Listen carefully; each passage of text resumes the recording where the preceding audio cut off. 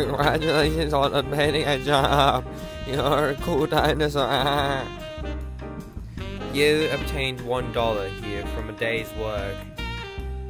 I think the tips from the working for the restaurant. What do you think about the situation?